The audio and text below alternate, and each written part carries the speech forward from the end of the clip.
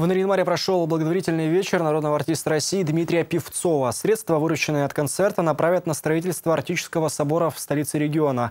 По словам епископа Наринмарского и Мезенского Якова, артист сам предложил организовать благотворительный концерт для жителей Ненецкого округа. Концерт народного артиста епархия поддержала в рамках проекта «Русская Арктика» и федеральной программы укрепления единства российской нации. У меня нормальный человеческий отклик на э, подобного рода приглашения. Если у меня нет возможности, я даже, у меня не возникает ничего, кроме взять и приехать. Это, по-моему, нормально для любого человека. В храм Дмитрия Певцова, по его словам, привела трагедия. Народный артист в 2012 году потерял сына. Он погиб при трагических обстоятельствах. Одну из песен артист посвятил памяти своего сына Даниила. Музыкальная моя деятельность, она связана сейчас, наверное, прежде всего с тем, что я пою только то, что мне интересно, то, что меня волнует, радует, печалит, веселит, раздражает. То, что мне не нравится, я не пою, и я этим делюсь э, с людьми, которые приходят на мои концерты. Это самое главное. И на сцене, вот на этой сцене, я не актер, не народный артист Дмитрий Певцов, я человек. Дмитрий, который этими песнями разговаривает с людьми.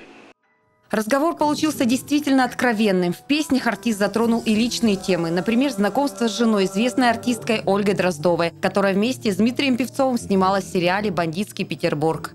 Уходит в праздной суете, разнообразной нити.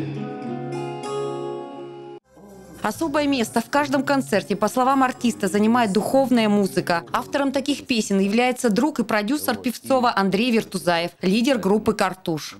У нас всегда присутствует, например, песня «Молитва», песня «Остров покаяния», э, которую я написал еще в 2008 году.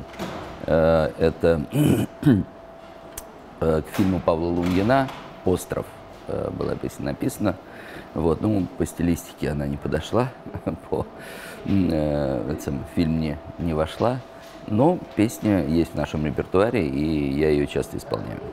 Также на концерте прозвучали отрывки из рок-оперы «Юнона и Авось», роман Савертинского и Таривердиева. Особенно наринмарские слушатели оценили исполнение песен Владимира Высоцкого.